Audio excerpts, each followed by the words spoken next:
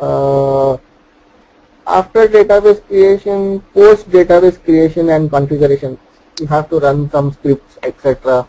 Catalog, cat proc, pub build. These scripts, if you run them, then your database will become fully functional. Of course, you don't have to do all these steps if you are going with database configuration assistant. It will do everything for you, but we will go manually. Next, table space management. First of all, we will understand what is a table space. Then basic SQL operations on table space, like how to create, drop, alter table spaces. Then understanding blocks, extents, segments, all these things. What is a block? What is extent? What is segment? Okay. Then you will see extent management. It is an interesting topic. Like you have two types of table space, dictionary managed and locally managed. So what is dictionary managed table space? What is locally managed table space? And then big file table space. Also we will be covering something like temporary table spaces, temporary table space groups. Okay. So those are also topics that come under table space management. This is very important topic because uh, this is most frequently used in uh, general DB day-to-day activity. Table space management is one of the common topics because that is the storage part where our data is storing. So table space is important. User management, managing user schemas, how to create the users, how to drop the users, how to change their passwords, how to give quota Quota management is again very important. Then you have something called as roles and profiles. Roles are basically collection of privileges. Like for example, we can create a role and we can grant several privileges to the role and grant the role to a user. So that is the concept of role. Profiles are there basically to control the users. Okay. Like for example, if you have a user and you want that user to uh, for example we don't want the user to leave the system idle for more than 5 minutes. If he left the system idle for more than 5 minutes he should get disconnected from the oracle database. So uh, then you can go for profiles. Then you have os authenticated users. That a user is basically uh, having the same username as operating system username. So he doesn't uh, require to give password to log into Oracle. That is not recommended. Yet we will see that. No problem. Uh, networking. Uh, this is again important because whenever you want to communicate with Oracle database, uh, you need some form of networking between client and server. So there is a process called listener that comes into picture and how to configure this listener because the listener is the process which will authenticate incoming connections. Whenever user is trying to connect to Oracle, the request of connection will go to listener. Listener will take the username, password and check in the Oracle data dictionary whether the user is existing or not existing, whether the password is correct or incorrect. And if everything is okay, the session will be created with the client so we'll see how to configure listener, how to start listener, stop listener, check the status of listener. We'll see TNS names configuration that is client side configuration. Remote authentication using Aura password file. This is again very important. Remote authentication means you want to work remotely as a DBA. Your database server is in location A and you are in location B you want to connect to your database server as a database administrator then you can go with the remote authentication. For that you have to use utility called ORAPWD all this we'll see. And also we are going to see how to implement database links. Database link is creating a link between two Oracle databases. Through that database link we can perform SQL inserts updates deletes on tables in uh, other database. So we'll see how to create this database links also very important topic. Here also you can see how to create the materialized views. Creating the materialized views because mostly when DB link uh, comes into picture the next moment we will go for the materialized views. that we will see what is the use of that materialized view and all I will tell you at that time. Then you have server parameter file and Oracle managed files. So server parameter file is very important. Every database will have concept of server parameter file which we also call as SP file. Uh, Oracle managed file is a subtopic associated to that. Then as I was mentioning earlier, we have file called control file. How to manage control file, that is the topic. And we have another file called log file and how to manage log file, that is another topic. Data file management is nothing but table space management. Data file management you will learn in table space management. Then you have archive log management. Archive log management is necessary for backup recovery. So if you are planning for a uh, recovery, you must go for archive log. If you don't have archive log enabled, you cannot do recovery. What is archive log? You will learn in architecture itself how to enable that archive log process you will see in this archive log management. NID. Using this NID utility, DBNEWID is the utility name, you can rename the database.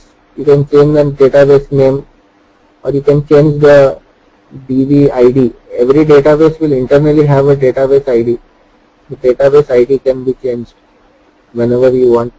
Of course, that should be done only on a uh, when the company is telling you to do that. But in test environment, you can do it any any number of times. So changing the name of the database or changing the ID of the database has to be done with NID. Then undo management, flashback query. So this is all uh, resumable transactions, default rollback segment. All these topics are related with uh, undo. Undo is for example, you deleted some data. I will tell you briefly what is flashback query to give some clarity to. You deleted some data and you gave commit. After committing, you want to get the data back, but rollback will not work because you have given commit. If you delete and commit, how can you roll back?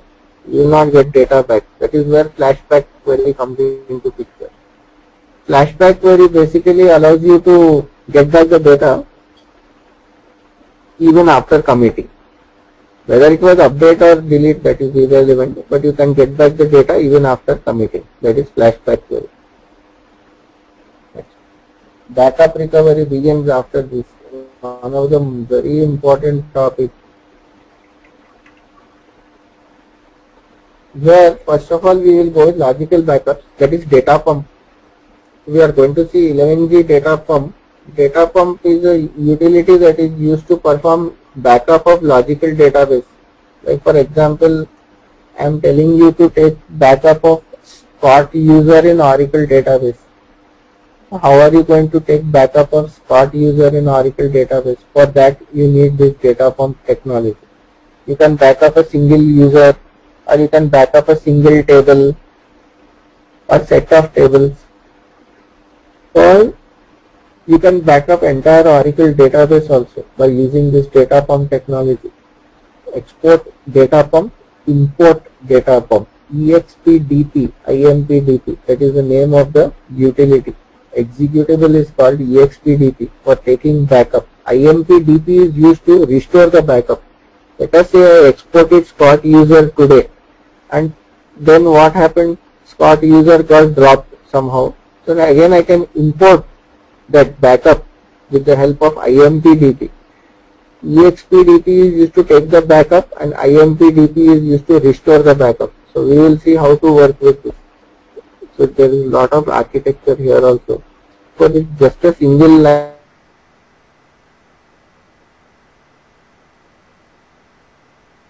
In the syllabus but actually the topic, there is some theory also over there.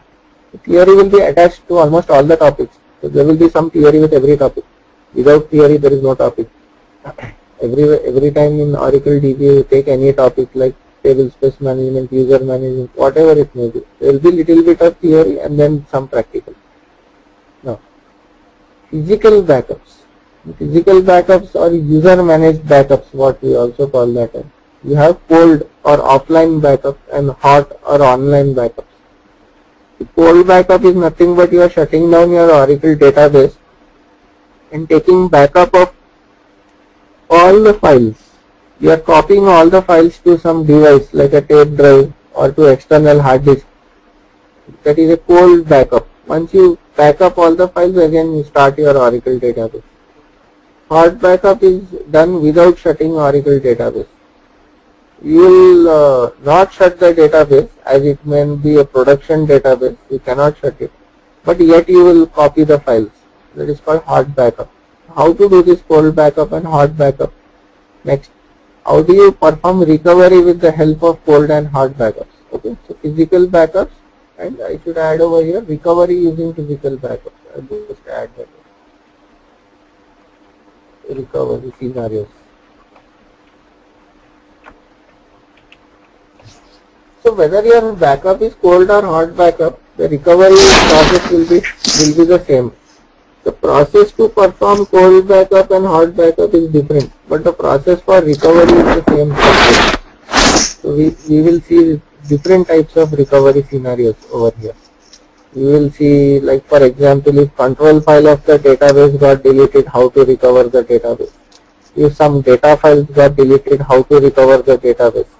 If some uh, uh, log files, redo log file got deleted how to recover the database. We will see various recovery scenarios.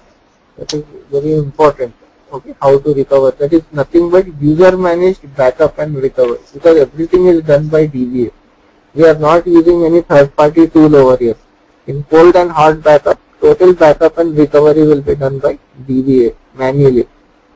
Then you come to RMAN recovery manager recovery manager is a tool.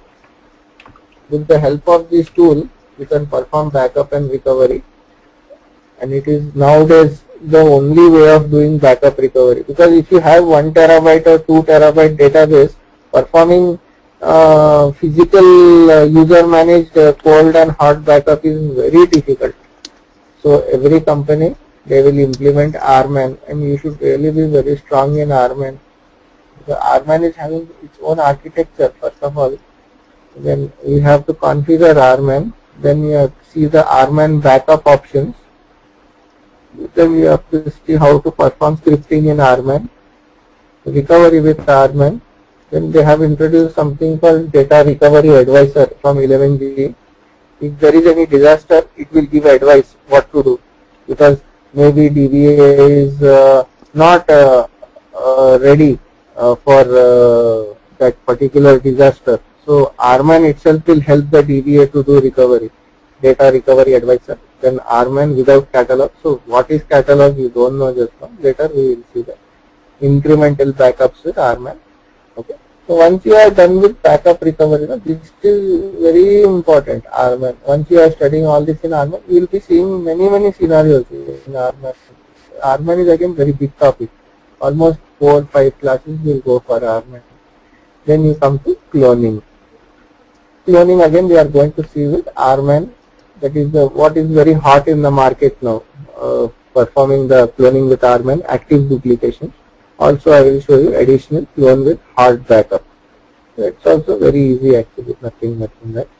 Patching we will see how to apply patch. Patch is nothing but Oracle updates so you, you have purchased Oracle software and you installed and you are running database but from time to time Oracle will release patches you need to apply the patches or updates and uh, you have to keep your database software up to date.